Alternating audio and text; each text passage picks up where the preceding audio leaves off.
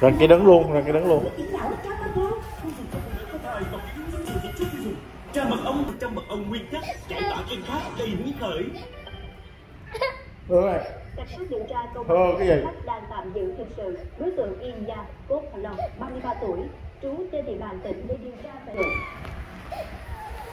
Nạn nhân trong vụ án là anh Y Jen Jie, 41 tuổi, trú trên xã An và huyện Gia Khớp. Theo điều tra ban đầu, do nước nhà vợ không chung thủy.